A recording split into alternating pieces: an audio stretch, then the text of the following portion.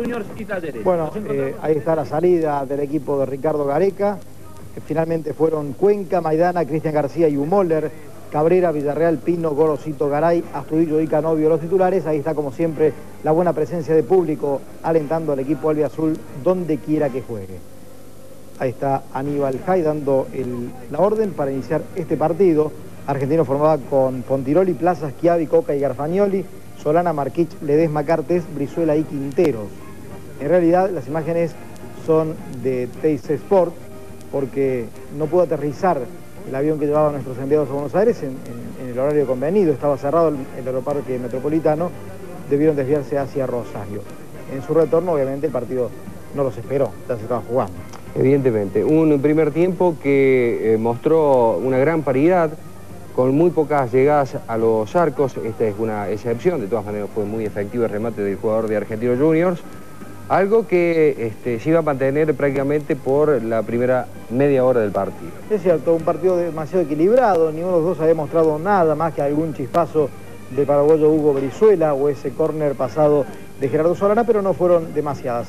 El fútbol de Talleres depende de este hombre, está muy claro. Diego Garay, que estuvo en dudas hasta hoy mismo, recién en la cancha, confirmó el Tigre Gareca los titulares, y Diego se encargaría de aportar algo de fútbol, pero no estaban ni Canovio ni Estudillo con las luces encendidas y chocaban contra el fondo ordenado siempre de Argentinos Lo que llama la atención es que eh, se produce un este, quiebre realmente notable entre el funcionamiento ofensivo de Talleres jugando de local con la capacidad ofensiva de Talleres jugando de visitante, porque Talleres al margen de los muchos goles que ya ha convertido de local, también crea muchísimas oportunidades de riesgo frente al arco rival, algo que no se muestra de la misma manera jugando de visitante. Primero un remate de Cristian Pino, después de Andrés Cabrera, de un Talleres, insisto, que le jugó por lo menos en el comienzo del partido sin complejos argentinos y esa es la idea, por lo menos del técnico, que se la trata de inculcar a sus jugadores, debe tener eh, la misma actitud, la famosa actitud que tanto impera en el fútbol de local o de visitante. Está claro a juzgar por los resultados que la historia por el momento no le funciona a Talleres. Este es Osvaldo Canovio, marcado por Garfagnoli. La descarga para el estratega, el centro de Diego Garay, y está salvando plaza al córner en una de las apariciones de Talleres que como podemos ver está palo y palo en cuanto a llegadas contra el equipo de Chiche Sosa. La apertura va a venir en un penal. En esa jugada estaban desbaratando el ingreso de Hugo Brizuela. Era Humoller finalmente que estaba a los manotazos con él. Se tiró deliberadamente el futbolista paraguayo y el árbitro no compró por suerte para Talleres. Quizás la actitud que diferenció el rendimiento de Talleres con Argentino Juniors haya sido la capacidad ofensiva a cargo de Brizuela, quien convirtió el primer eh, gol con el acompañamiento de un hombre realmente importante como es el Polo Quinteros. Dos jugadores realmente muy importantes que están funcionando bien en estos primeros partidos del campeonato. En un equipo de pibes, ¿eh? uno de los equipos de más bajo promedio de edad. El de Argentinos Juniors con buen trato de balón, que tratan siempre de jugar, bueno, y que por ahí pecan de inocentes en algunos partidos. Este no fue el caso, precisamente. Pero es cierto, por el talento del Polo Quinteros, con un paso muy fugaz por el fútbol italiano, recuperó un valor más que importante el conjunto de la paternal. Sigue buscando ese Brizuela que metía y ahí le van a cobrar a, a Cristian Pino la infracción que va a permitir al equipo de la paternal abrir el marcador. Una jugada muy protestada por los eh, jugadores de Talleres. El terreno evidentemente no está para nada bien. Quintero que metía el centro, Brizuela cuando pretendía conectar, va al piso. Sinceramente desde aquí y en esta imagen no nos queda la sensación de que fuera eh, falta y penal. ¿eh? El mismo Brizuela, iban 31 minutos del partido, va de derecha contra el lugar que eligió Mario David Cuenca, no llega el arquero y es el 1 a 0. Insisto, por lo que nos muestran estas imágenes televisivas, no da la sensación de que haya sido infracción de Cristian Pino sobre Brizuela, obviamente no fue penal. Y a partir de ahí no cambia totalmente la historia de este partido porque teniendo en cuenta el 1 a 0 en contra, Talleres eh, de manera muy limitada busca el empate, no crea muchas situaciones de riesgo frente al arco de Pontiroli, de Argentinos Juniors, algo que también le cuesta muchísimo en función de las derrotas que ha obtenido de, de visitante que cuando pierde, empieza a perder el partido después, al margen de este remate en el travesaño, le cuesta muchísimo crear situaciones como para buscar el empate. A cargo de uno de los que mejor le pega la pelota en talleres, ahí está el disparo de Martín Gorosito en el travesaño, el arquero no tenía ninguna chance de llegar a ese balón. Talleres contestó con el adelantamiento de Javier Villarreal para darle un poquito más de compañía a Diego Garay, el conductor de fútbol, el remate que se desviaba en un defensor argentino y se va al córner. Talleres por lo menos buscó, ahí está, dando en Schiavi esa media vuelta. Y el córner que va a ser de Diego Héctor Garay. Buscó Talleres con afán en los minutos finales del primer tiempo, no consiguió absolutamente nada.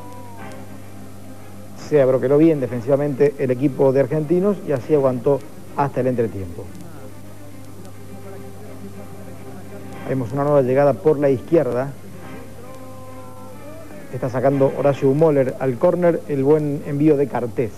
Y Argentinos Juniors que con estas últimas dos victorias, digamos que se constituyen la excepción de lo que viene pregonando Carlos Ávila, en cuanto a que tanto Ferrocarril Oeste como Platense Argentinos Juniors no tendría que existir más, al menos para la televisión, ¿no?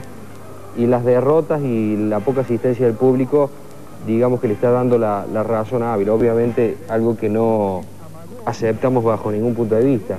Por suerte Argentino Juniors no le da mucho margen para que pueda seguir hablando Ávila, ¿no? Una de las respuestas de Huracán con su camiseta, sin publicidad, decía Huracán es de primera, en clara respuesta al empresario televisivo. Ahí veíamos un buen remate que se iba por poco afuera y hay una estirada infructuosa de Mario Cuenca para tratar de detener la pelota que se fue finalmente al córner. Partido equilibrado, más allá del gol estamos viendo que se han repartido las situaciones de peligro de uno y otro y que han trabajado tanto Pontiroli como Cuenca en idéntica proporción. Pelota jugada al área, sobre un campo demasiado pesado. Remate totalmente desviado de Cristian Ledesma. Talleres sigue buscando, pero como vemos sin demasiada claridad. Con remates de lejos, con jugadas esporádicas. Y en el segundo tiempo ingresa eh, Ramón Ismael Medina Bello por Rodrigo Estudillo y ahí vemos al arquero Mario Cuenca salvando una buena llegada de Polo Quinteros, el muy buen delantero que tiene el equipo de la Paternal. Alcanzó a puntearla, quedaron sentidos los dos, una jugada muy similar a la que le produjo la lesión a Cachi Celaya en aquel partido frente a Platense en la primera salida de Talleres eh, frente al arquero Cancelarich. Una buena situación de Talleres que salva providencialmente Pontiroli tirándola al córner, Siempre la presencia de Garay, ¿no? Siempre, casi excluyente en cualquier maniobra de ataque del conjunto cordobés, será el de San Francisco, el encargado de estar presente.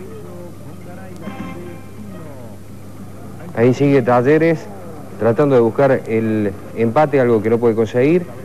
Es la Medina Bello que ha tirado. Exactamente, el recién ingresado.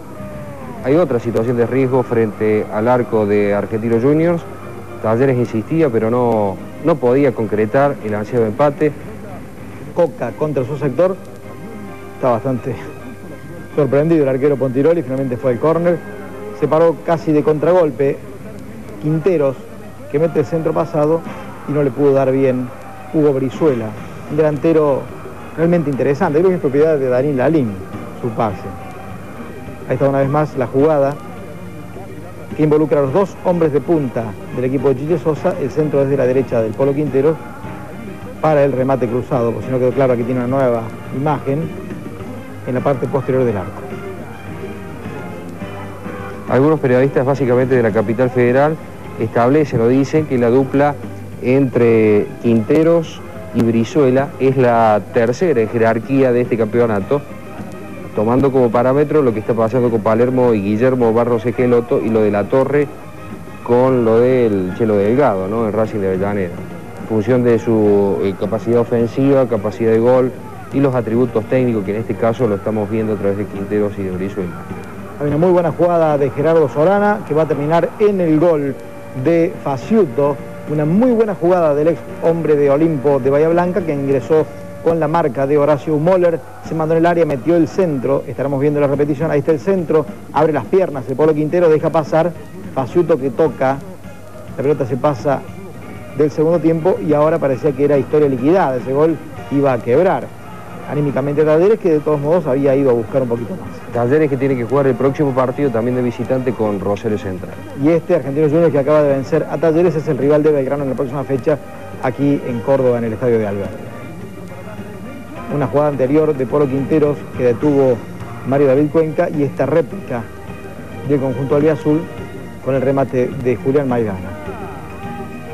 El árbitro que marca el final perdió Talleres 2 a 0 frente a Argentinos Juniors.